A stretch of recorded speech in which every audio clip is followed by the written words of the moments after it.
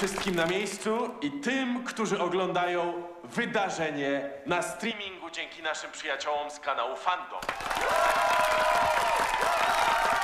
To zaszczyt móc zaprezentować wam album Mundastu.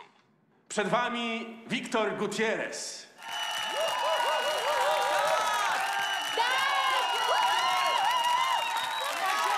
E, dziękuję wszystkim za przybycie. Jestem pewien, że. że Lukas i Elena byliby szczęśliwi, że ta płyta mogła powstać. Wielu z Was myśli, że Mundast to była trójka przyjaciół, ale tak naprawdę, kiedy poznałem Elenę, od razu na zabój się w niej zakochałem. Problem w tym, że ona ciągle mówiła o jakimś Willim, a ja wariowałem z zazdrości, bo wydawało mi się, że Elena i Willy są nierozłączni.